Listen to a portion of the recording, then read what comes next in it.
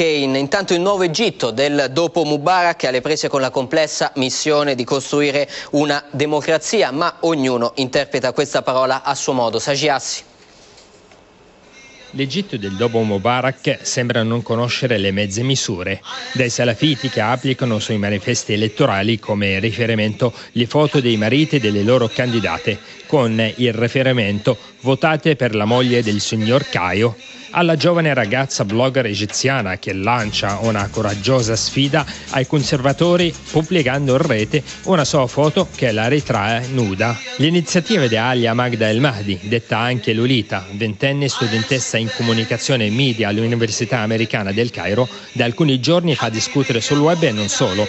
La sua immagine ha fatto il giro del mondo ed è finita anche sui quotidiani internazionali. Si definisce laica, libera, femminista e vegetariana italiana, individualista ma soprattutto egiziana e le sono bastati otto scatti dal titolo Fanari, arte nudo, per scatenare la bufera. Sono centinaia di migliaia di contatti, o meglio le persone interessate alle sue immagini provocanti.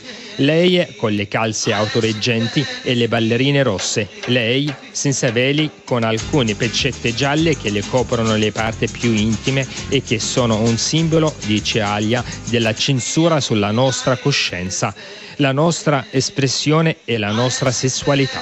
La Lolita del Cairo si presenta come la compagna di Karim Amer, un blogger egiziano condannato nel 2007 a quattro anni di prigione per aver insultato l'Islam. La ragazza assicura sulla sua pagina web di non aver fatto nulla di trasgressivo, ma di essersi solamente ispirata a modelli nudi che posavano alla facoltà di belle arti del Cairo negli anni 60 e 70. Insomma, l'Egitto del dopo Mubarak resta un rebus, come anche quale sarà in futuro il ruolo della donna nel paese.